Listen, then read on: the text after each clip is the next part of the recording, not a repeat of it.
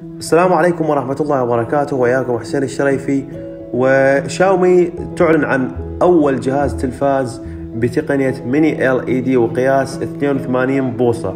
طبعا تذكر الشركة إن الصينية إنه أطلقت نسختين من الجهاز.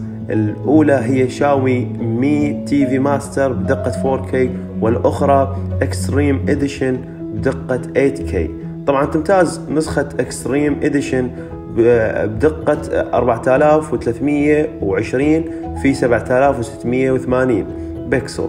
طبعا هي أكبر بأربعة أضعاف مقارنة بدقة 4K تدعم الشاشة تقنية bit 10 وتقنية HDR 10 وتقنية Dolby Vision وتقنية HLG وطبعا هي تغطي بنسبة 98% تقريبا من طيف الألوان DCI P3 كما تمتاز الشاشة أيضا التلفاز بدعم مستوى سطوع قدر 2000 شمعة مع مستوى تباين قدره 400 ألف على واحد.